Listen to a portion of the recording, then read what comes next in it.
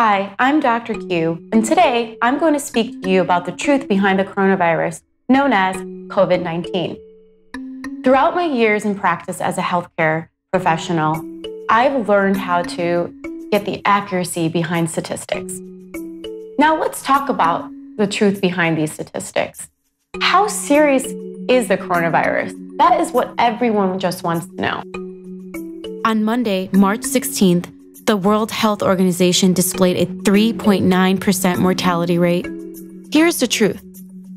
Yes, it is a 3.9% mortality rate, and this number is updating every day. Now let's talk about which individuals who are at risk. Risk can be looked at in two ways. There's risk of being exposed and getting minimally sick from the virus. And then there's a risk of getting severely ill or dying from the illness with this virus, according to the CDC. While we are still learning about how COVID 19 affects people, 15 to 20% of individuals have developed serious illness, including the elderly and individuals with pre existing medical conditions. These conditions include high blood pressure, heart disease, lung disease, cancer, diabetes, or potentially obesity. There is an increasing risk of disease, and the risk increases with the age starting at 60. The risk goes up in relation to the age of the patient, with seniors over 80 being the highest risk.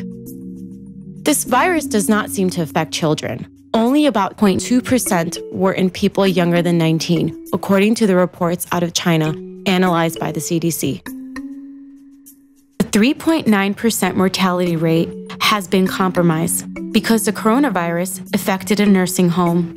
And who belongs to nursing homes? The elderly, you all have heard healthcare professionals speak about flu rates, whether it's death or the number of illness in comparison to the coronavirus. You're thinking, what are these healthcare people saying? How are they saying the flu is much worse? Okay, so now it's time to get into this deeper. As of last month, there has been 22,000 to 55,000 flu related deaths, 670,000 flu related hospitalizations, and around 51 million flu illnesses.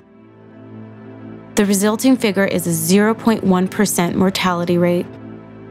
You may think 0.1% is a low number. You may also not know that when an elderly patient is first admitted into the hospital with the flu and develops pneumonia, the cause of death is reported as pneumonia and not the flu. As a result, the mortality rate of the flu is much higher than reported. The resulting mortality rate is approximately 7.1%. Fear of the unknown can be one of our greatest fears. The coronavirus is still very unknown. This virus is capable of spreading easily from person to person based on the available data, which explains why everyone is panicking.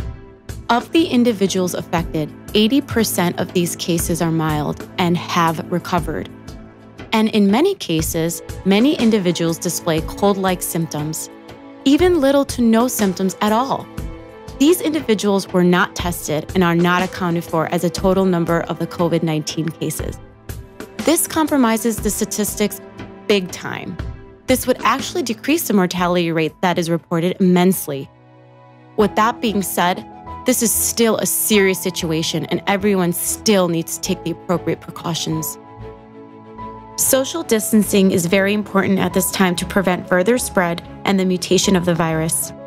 My next video will be on how critical social distancing is. Thank you everyone for your time and thank you so much for listening. I'm Dr. Q and I will have more updates coming at you very soon.